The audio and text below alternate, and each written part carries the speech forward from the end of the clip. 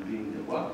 And what government we are supposed to do is to further ensure that we improve on the, on the environment for them to be able to, to thrive. And that's why even when we look at um, our UDC Act, uh, the approach we are not taking is like, it's not like the one of the UDC of the 1960s. Government gets in into some sectors where the private sector is unable or is not interested, catalyze it, and when it is now private sector has developed a lot of appetite, government push uh, gets out. So I felt I should do, share that.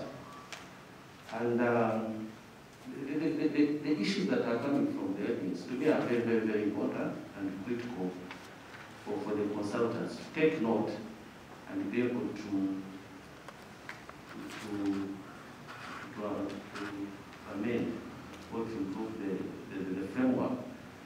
and uh, also follow the guidance given by government. Our industrialization, the direction have been given, when you look at um, the communication from HE about the real economy, the versus the vulnerable economy, and also our NDP and the industrial policy framework, it is domestic and export-led industrialization. And uh, when I listened through the discussion, those issues were coming up.